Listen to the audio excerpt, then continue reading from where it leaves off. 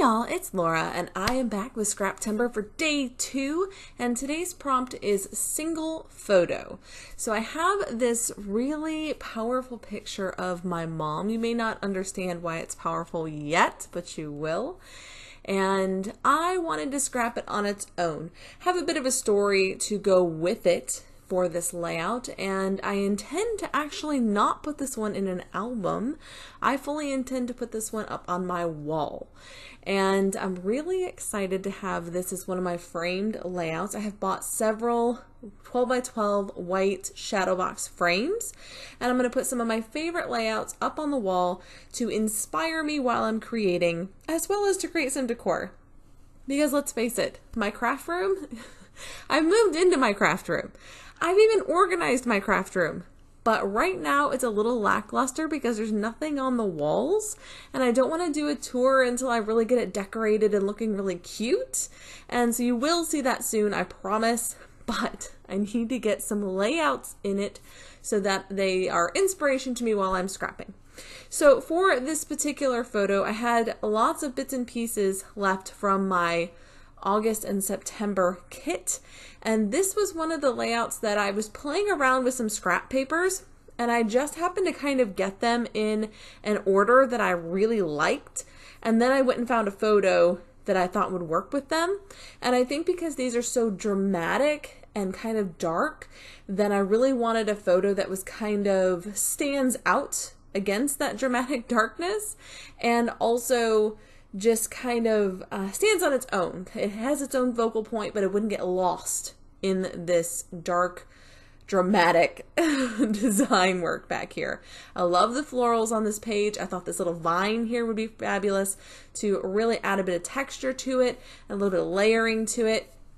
I have uh, put a piece of eighth inch, I believe it is, tape down and then some glue to keep that vine in place while the glue dries. And that usually works pretty well for me. Uh, I'm going to go ahead and bring out some of my embellishments. I didn't really know what area I was going to embellish yet. I'm just like, we'll just give it a go, right? We're just going to give it a try. And then I pulled out this giant bag of wood veneer that I'm trying to use up in this kit. And I'm going to add a title and a couple of wood veneer hearts just for decoration. And that kind of helped me figure out where I wanted those embellishment clusters to go. And I don't even end up using the wood veneer title, but it was a placeholder. It it helped me in my mind to say visually, okay, this is where the title is going to go, so I know to leave space for it. And so I decided, you know what, let's bring in some florals. I've got florals up on this left hand side. Let's just go for it. Let's do a giant floral swag. Let's just really dig deep into our floral ephemera, which is mostly made up of fussy cut florals from the pattern papers and uh, just see what I can do, to see what I can do.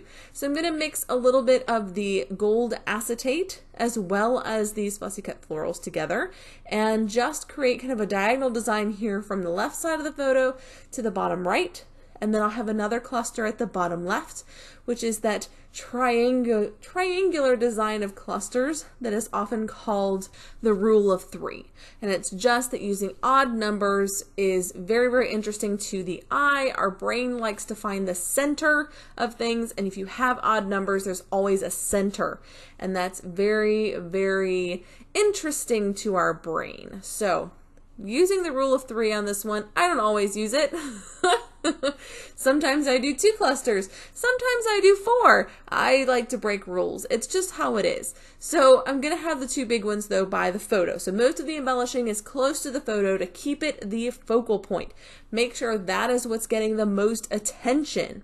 I also watched an interesting video by Shimelle Laine for scrapbook.com's YouTube channel, and she was talking about how quite often with her layouts, she thinks about a layout as a newspaper. Okay, where do the most important things in the newspaper go? Well, either you have a headline, i.e., a title, and or a photo right up top. You don't normally have a big long-winded story before the title before the before the photo, before the little decorative bits, if you will. So she said she often tries to put either her title or her photo in that prominent top left corner or at least the top left corner of the design. Like the design itself, the focal point could be in the center, but then the majority of your design work would be underneath, if that makes sense. And I thought that was an interesting idea. I don't always do that. I quite often do not do that. And so I thought, let's give that a go. Let's give that a try and see how that looks. And I actually really like this layout a lot. So I think Shimelle may be on to something there. And uh, that might be something that I have to try some more of. Now, I'm a bit scattered with design. I do like to experiment and try all different kinds of designs. So, this should surprise absolutely no one that I don't stick to one. but I did really enjoy this design. It was a lot of fun to play with. And I was just thinking about that video when I was designing it. Now, for Scraptember, which is our video a day marathon that we are having this month in September, we have guests every single day. And today's guest is Gwen Wruck, whose channel I believe is called Created by Gwen. And I will be sure to link her below for you, as well as the Scrappy Sisters, who are collaborating with me this month for Scraptember. Now, they generally call theirs Scrap September, but we're kind of combining forces this year, and we're both doing our video day marathons, Scraptember. And I think that's what they're calling it. They may be calling it Scrap September because that's their thing. I don't know. I think we're calling it Scraptember. Either way, be sure to check out Gwen and the Scrappy Sisters to see what they have got up for today's single photo challenge.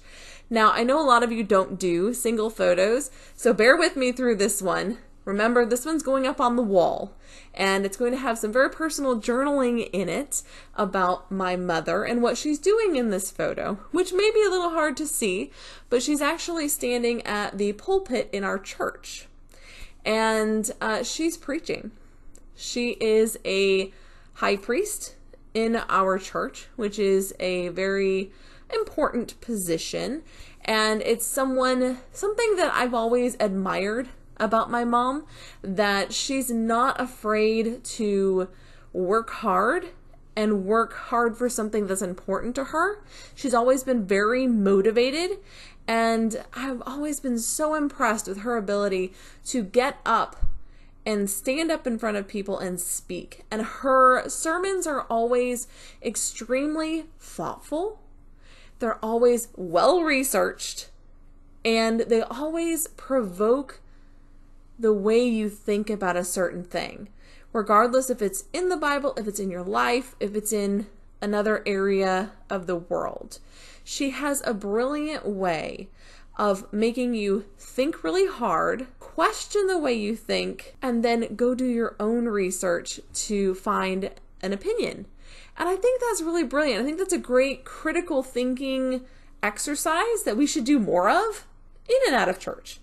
Do you know what I'm saying? I just really love the way that she pushes you as a listener to follow her down a path and then go off on your own journey. And I love that. I love that. It's such a wonderful experience to hear her speak. And even outside of church, she has a very, very important way of focusing in on the important details in a situation and staying focused on those things. Whereas I myself am all over the place, jump from thing to thing, and can never pay attention to one thing very long.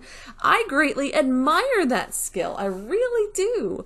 And so I can even more so appreciate that she can get up there and take the time to research and provide a really incredible sermon so that you feel like you've walked away from that service having learned something, having learned something, having taken in new information that will help you grow, if only mentally. And I appreciate that a lot.